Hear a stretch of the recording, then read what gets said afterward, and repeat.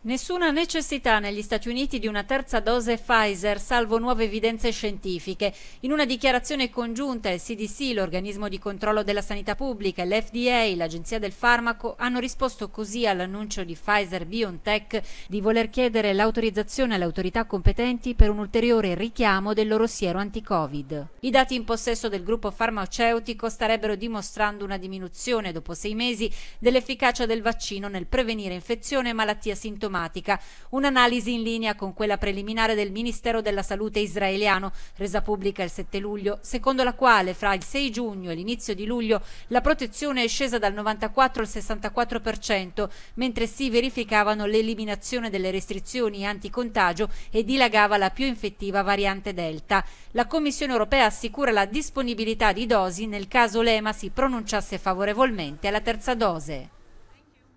Bye bye.